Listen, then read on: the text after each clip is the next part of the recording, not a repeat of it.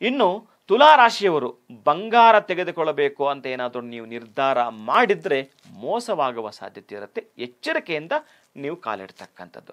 ಅಥವಾ ಬೇರೆ ಇನ್ನೇನಾದರೂ ಖರೀದಿ ಮಾಡಬೇಕು, ಒಟ್ಟಾರೆಯಾಗಿ ಇವತ್ತು ನಾನು ಏನಾದರೂ ಒಂದು ತೆಗೆದುಕೊಳ್ಬೇಕು ಅಂತ ಪ್ರಯತ್ನ ಪಟ್ಟಿದ್ರೆ ಅದರಲ್ಲಿ ಮೋಸವಾಗ್ಬಿಡುತ್ತೆ. ಸ್ವಲ್ಪ ಎಚ್ಚರಿಕೆಯಿಂದ ಇರ್ತಕ್ಕಂಥದ್ದು. ಎಚ್ಚರಿಕೆ ಅಂದರೆ ಹೇಗೆ ಗುರುಗಳೇ, ಅಂದರೆ ನೀವು ಏನನ್ನ ತೆಗೆದುಕೊಳ್ಳಿಕ್ಕೆ ಹೋಗ್ತಾ ಇದ್ದೀರೋ, ಅದಕ್ಕೆ ಸಂಬಂಧಪಟ್ಟಾಗಿರ್ತಕ್ಕಂಥ ಅಷ್ಟು ಜನನ ಮತ್ತು ಮತ್ತು ಕೇಳಿ ಅದರ ಬಗ್ಗೆ ಕ್ಲಾರಿಟಿ ತೊಗೊಂಡು ಹೋಗ್ತಕ್ಕಂಥದ್ದು ಉತ್ತಮ.